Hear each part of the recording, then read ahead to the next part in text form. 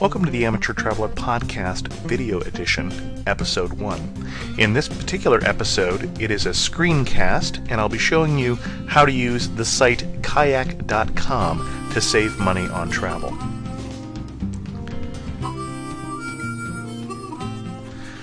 Kayak.com is a website that is a consolidator of travel and therefore you can use Kayak to search for travel deals from across a wide variety of websites. So let's look at the Kayak site and to start with we'll look at flights. So right now I'm going to look for a flight from San Jose to let's look for Denver, Colorado. Here we'll go to Denver International Airport and we're going to travel leaving on the 18th of March, and we'll come back a week later. Go back here to the 25th of March. It's looking for one traveler, and it's looking at economy.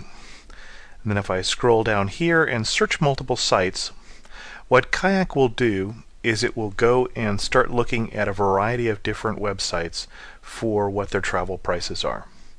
So here we get the status. It's looking at various sites here and it's starting already to display some of the results. Okay, Kayak says it found 172 results. If not all of them show, you may need to use the Show All button over here.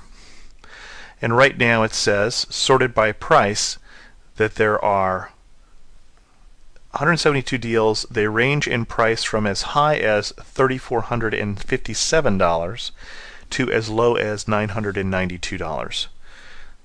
So this particular column sorts by price.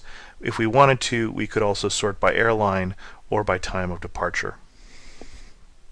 So that's all very well and good if you want to save time as you're looking for deals. And if I wanted this particular deal, I would just click here on Buy Direct at AmericanAirlines.com or AA.com. But what if I know that I want to travel, but I'm not exactly sure when I want to go and I'm just looking for a great fare?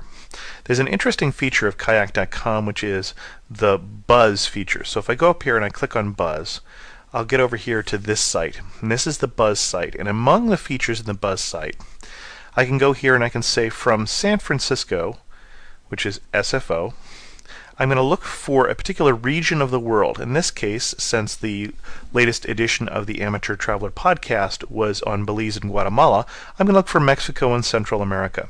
I'm going to look for best fares. I can, if I want here, put in a maximum price. I'm not willing to pay more than $800. And then I'm going to say get best fares. And it'll begin searching, and one of the things it will do is it's going to bring up a map down here.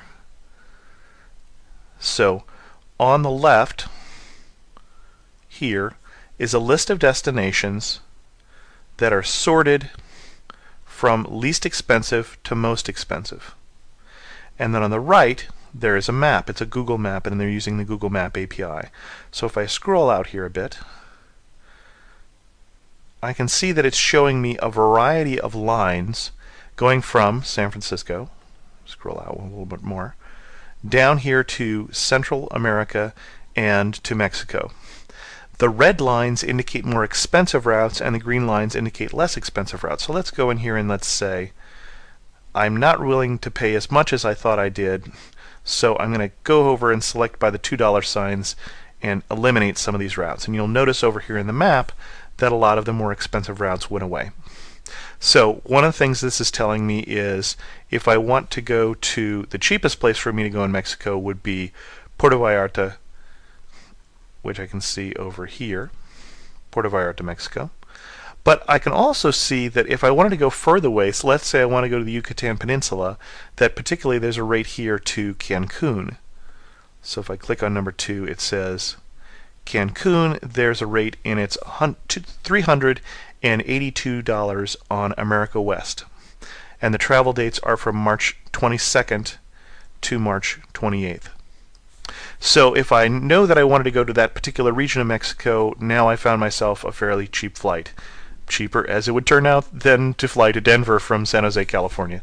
So kayak.com is useful when you're trying to find uh, cheap airfares or hotels or rental cars, and you're trying to search a variety of sites at the same time. So Kayak mostly will save you time in your search, and it may find a rate at one of the sites or one of the sales that will save you some money. Again, Kayak doesn't sell things itself. They're a consolidator site allowing you to find deals on other sites. So that will wrap up episode one of the video edition of the Amateur Traveler podcast. Check out the show notes at amateurtraveler.com, and thanks for watching.